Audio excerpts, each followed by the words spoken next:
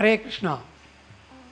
ISKCON में food for life programme 1974 में चालू हुआ है।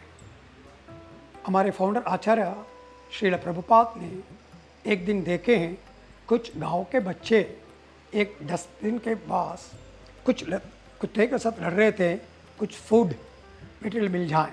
तो उन्होंने अपने शिष्यों को आदेश दिया कि कोई भी इस्कॉन सेंटर या टेंपल से पाँच माइल रेडियस पे कोई भी भूखा नहीं रहना चाहिए।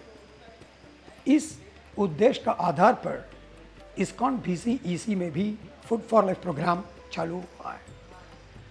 अनेक अनेक डोनर्स अपना birthday, anniversary competition exam success, Akshaya Tritiya जैसा फेस्टिवल या अपने फैमिली मेंबर्स के लविंग मेमोरी में डोनेशन देते हैं और हमारा उद्देश्य ये है कि सोसाइटी में अनप्रिविलेज लोग जैसा डेली वेज वर्कर्स चैरिटेबल और गवर्नमेंट हॉस्पिटल में जो रोगी और उनके विजिटर्स अनाथ आलय और डिसास्टर हिट एरियाज़ जैसा पिंपरी में, नदी के किनारे में जो स्लम से वहाँ इस पिछले बार बाढ़ आया था, वहाँ लोग बहुत दुख और कष्ट में थे, उनको, ऐसा वाले लोगों को एकदम top quality delicious hygienic Krishna prasadam serve करना हमारा उद्देश्य है।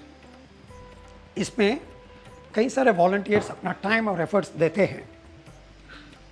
और हमने इस्कॉन बी ने Tata projects D Y Patel university और उन्नति फाउंडेशन जैसे बड़े ऑर्गेनाइजेशन के साथ मिलकर अन्नदान सेवा किए हैं। अब तक करीबन डेढ़ लाख मील्स हमने सर्व किया है।